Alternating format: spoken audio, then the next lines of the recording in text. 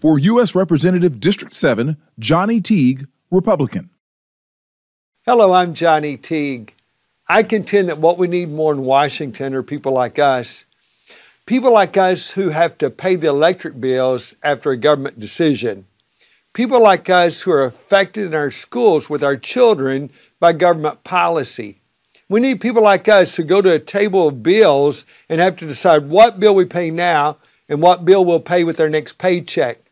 We need people like us who have to scramble at the end of the year to try to decide how we're going to pay our property taxes to keep a roof over our heads. Government was never meant to be one where they decide and we comply. Not in this nation. In this nation, we should decide and the government comply. I believe that if you were able to go to Washington, you could straighten everything out. Unfortunately, who has the time? So we gather and we choose someone to go in our place. I'm wanting to go in your place and represent you in Washington. Together, we can make a better day, and together, we can fix the things that are wrong in our nation.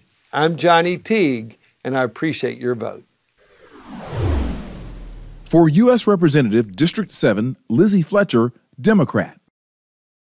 I'm Congresswoman Lizzie Fletcher. I'm honored and proud to represent Texas's 7th Congressional District in the United States Congress in Washington, D.C. It is a privilege and a responsibility that I'm grateful for and committed to every day.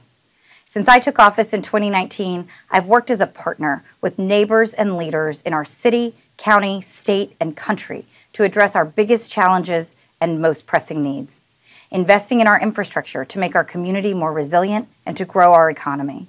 Expanding access to quality, affordable health care while bringing down the costs keeping Houston the energy capital of the world while addressing critical climate and environmental challenges, responding to the many challenges brought by the coronavirus pandemic, and protecting our rights and our democracy. We face many challenges, but I remain optimistic about how much we can accomplish when we work together for our community and our country.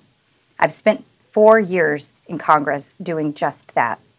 I'm committed to ensuring that our community's core values, inclusion, innovation, and collaboration, result in progress, equality, and opportunity for all Americans. I would be honored to earn your vote and to be your partner as we work together to bring a little more Houston to Washington, D.C.